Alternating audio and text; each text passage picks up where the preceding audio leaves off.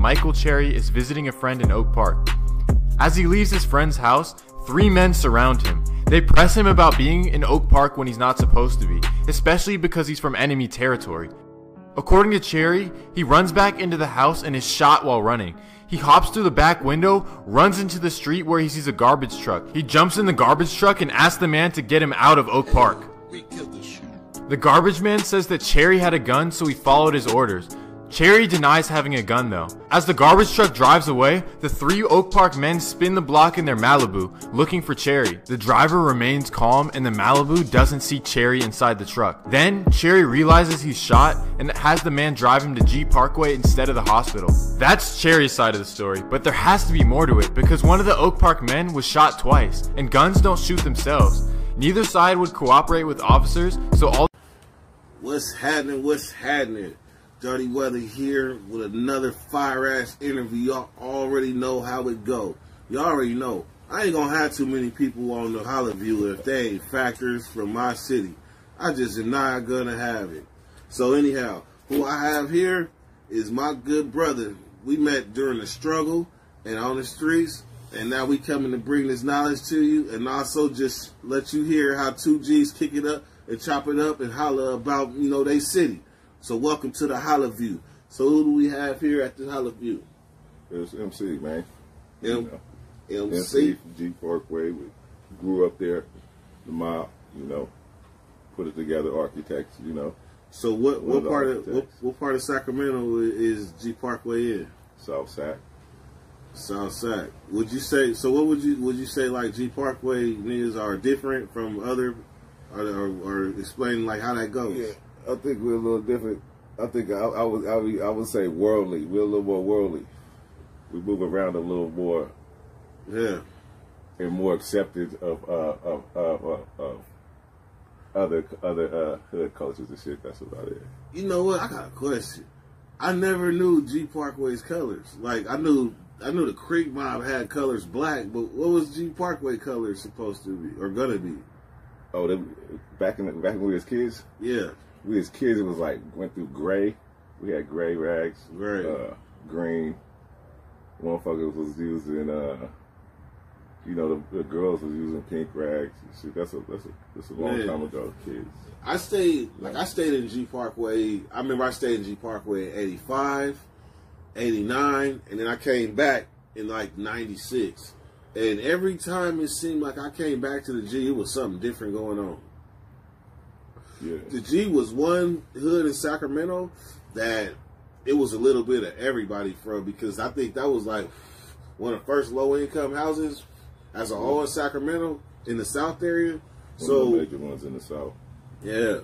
So if you if you was low income, good chance you didn't live in the G at one time that. or another. Yeah, you came through there.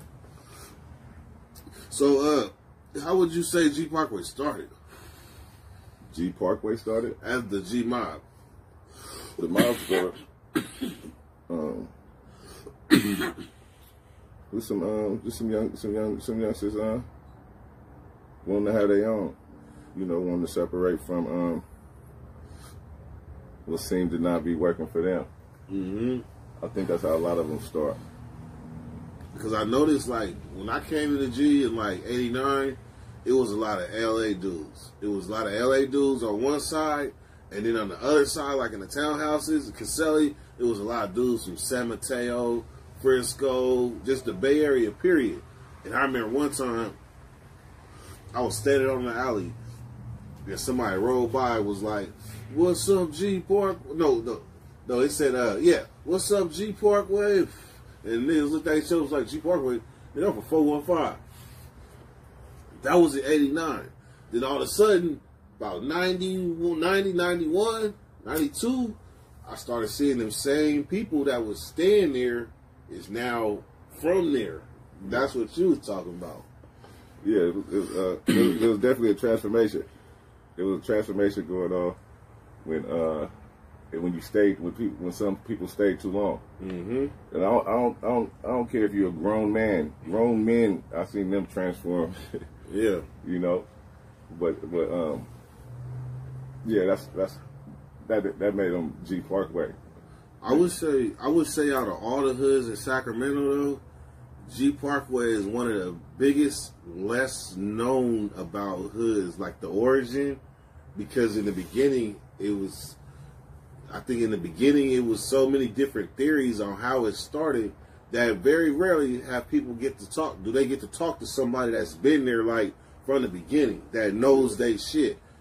If not, you're gonna hear somebody they like they might their history might start with BAY. They might they don't they don't know about ten years prior to that when there was a struggle and to to Yeah. set they set their identity. Yeah. So, so anyhow, you remember about? So I'm gonna tell you how far back I go back. I remember when the back bridge you used to be able to walk across the bridge. You used to be able to, you used to be able to drive in and out. Every part, every part of used G. to drive across it up. You used to be able to turn off, You off used to, Brookfield. yeah, yeah. Yep. Used to drive off of Brookfield. You remember when they put the gates up, right? They had I remember when they booths started. on Brookfield. yeah. You remember that? A lot Yep. of motherfuckers don't remember they had booth, booths on Brookfield. You had to show ID on Brookfield to get in. Yep. Yeah. I remember that. I was there for all that. You remember, uh, matter of fact, who was my friend back then?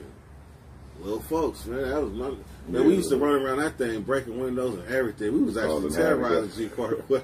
That's a, that's how that's how a lot of us uh, started terrorizing the, terrorizing the neighborhood. And the other day I was live. I was telling them like my my uh, my cousin Solo. That nigga used to have you know remember how niggas when they were selling dope and in front them two alleys over there in the townhouses. Yeah. I remember that he used to have me following, like when the police come. Remember, used to, everybody used to run. Bam! They used to run. I used to watch. I used to see niggas throw that shit in the bushes and double back on their ass. Be like, here, give my. I didn't know what I was giving him. All I know is he was giving me some monies. But that, yeah, they're it was, about. it was hella shit going on back there. Yeah, dice games. It was it was a, it was a um I didn't even know that shit. you know it was it was going crazy back then. And you know in eighty in eighty nine, I was I was twelve years old. I was, yeah, so You I was, I mean? see, I was in the sixth grade. Yeah, see, I I was was going, twelve. I was going to park. So you was already going. To, uh, what you going, Fern Bacon? Fern Bacon then. Yeah. Yeah. So we, we My grandma was a counselor at G Parkway Elementary, though. I think for like two years. So your sixth, what who was your sixth grade teacher? uh Kircher. Cursor. I had Miss Fane. Yeah, Mr. No, I had Miss McClendon. The What's, old the, what's uh, Parkway's uh thing? What is that? Uh, Parkway what? shit. You can't I remember? can't remember. Parkway Eagles. Parkway Eagles. Did y'all used to be, y'all used to play Smear the Queer? Yeah, all the time. Man, I remember one time. I remember one time that nigga David, he would him and Daniel was coming at me, and I, oh, man, I did a little quick turn, bam, and scored a touchdown. They would have them two big ass motherfuckers would have hit me. I'd have probably never been the same. That was a coma hit. I was in the G since the second grade.